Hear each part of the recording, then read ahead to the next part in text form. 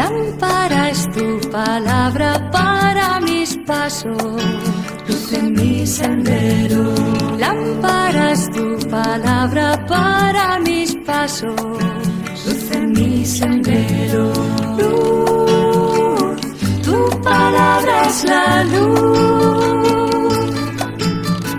Luz, tu palabra es la luz. Tu palabra para mis pasos, mi sendero. Un saludo cordial para todos ustedes, amigos que nos ven a través de este medio de comunicación. Estamos trabajando aquí para ustedes, llevándoles a cabo este programa llamado La Biblia Palabra Viva. Para todos ustedes, que esa palabra viva se hace en nosotros. Yo soy el Padre Raúl Rojas, denominado ahora el Heraldo del Evangelio. Quiero hablarles del domingo 24 del tiempo ordinario, estamos en el ciclo B del Evangelio que se proclamó el día de ayer domingo. Entonces, el tema del Evangelio del día de ayer es la confesión de Pedro. Eso está en el Evangelio de San Marcos, en el capítulo 10, de los versículos 27 hasta el versículo 40, más o menos, de 39, sí señor. Entonces, ahí en este Evangelio nos está relatando que Jesús sacó, se llevó por la región de Cesarea de Filipe o de Filipo esa región alejada de donde estaban los fariseos y donde estaban también los, los, bueno, estaban los fariseos y los críticos de Jesús, sacó a los apóstoles a un lugar aparte y allí les hace una pregunta. ¿Quién dice la gente que soy yo? Y entonces empiezan a decir el coro de todos los apóstoles a decir, unos que Juan el Bautista, otros que Elías, u otros que lo, alguno de los profetas. Y entonces Jesús les voltea la pregunta y les dice, ¿y ustedes quién dice que soy yo? Simón, que es como el que habla, el que maneja como el coro de los apóstoles, como la boca de los apóstoles, les dice a Jesús, tú eres el Mesías. Esto dice el texto aquí del Evangelio de San Marcos. Entonces yo les quiero presentar esa primera parte y en otro programa vamos a poner la segunda partecita. En esta primera parte eh, Jesús saca a sus discípulos a una región lejana donde están los escribas y los fariseos para interrogarlos.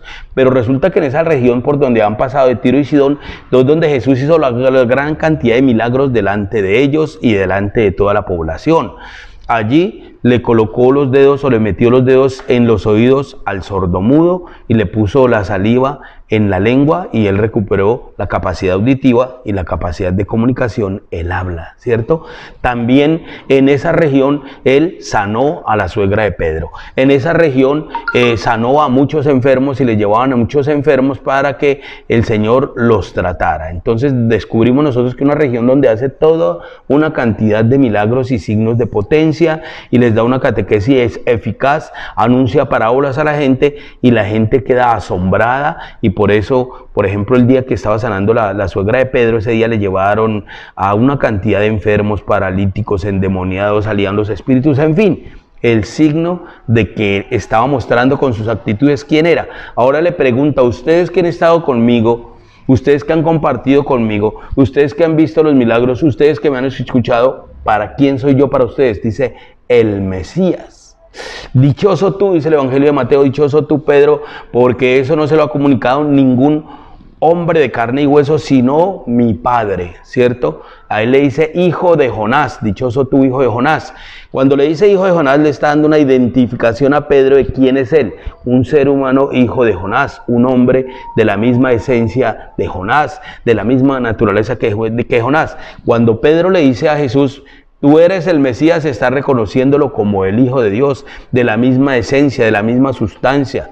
Ese es Jesús, es el mismo. Entonces está diciendo Jesús es Dios. Ese es el reconocimiento de Pedro, es la confesión de Pedro que, que anuncia a Jesús como el verdadero Mesías, el Cristo, el que tenía que venir al mundo. Él es para Pedro, ¿no? Y entonces viene el primer anuncio de la pasión enseguida. Y le empieza a contar, el Hijo del Hombre tiene que padecer mucho por manos de los sumos sacerdotes, de los ancianos, será entregado en manos de las autoridades, lo matarán, lo crucificarán y al tercer día resucitará entre los muertos. Aquí hay otro tema maravilloso, especial para entender ese aspecto. ¿Cuál es el tema? Resulta que en, en, esta región se, se está viviendo unos acontecimientos especiales. Mire, cuando una persona eh, le querían quitar toda su dignidad y todo lo arrastraban, lo humillaban, lo maltrataban, era una vergüenza. Entonces Pedro lo que no quería era que Jesús muriera bajo esa vergüenza de la cruz, arrastrado, golpeado, maltratado, y por le dice, Señor, no, lo llama a un lado y le dice, le dice al Señor, lo increpa un poco, le dice, Señor, no, por favor, no puedes morir así. Bueno, le dice una cantidad de cosas y Jesús por eso le dice, quítate de mi vista, Satanás, o ponte detrás de mí, Satanás, porque no piensas como Dios, sino que estás pensando como los hombres. Eso es lo que nos dice. Entonces ahí está mostrando que Él se está oponiendo a que Jesús recorra el camino del Calvario para llegar a la cruz. Esa es la oposición. El que se opone a eso es Satanás, primero que todo en el desierto, nos lo cuenta Mateo 4 en las tentaciones de Cristo, ¿cierto? También Lucas y también ese tema lo trata aquí el evangelista San Marcos. Entonces a nosotros nos dice eso, oponernos a la cruz como lo está haciendo, estamos ocupando y haciendo el papel de Satanás. Hasta ahí esta primera parte que luego ya les en la segunda parte. Les agradezco su atención, Dios los bendiga, les conceda un feliz día una feliz mañana, que la pasen maravillosamente, que tengan una, una semana rebosada de grandes bendiciones. Un feliz día para todos. Tu palabra para mis pasos, mi sendero.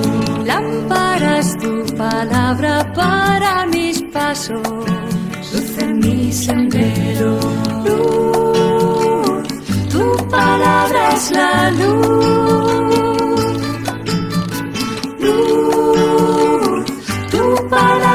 la luz. Lámpara es tu palabra para mis pasos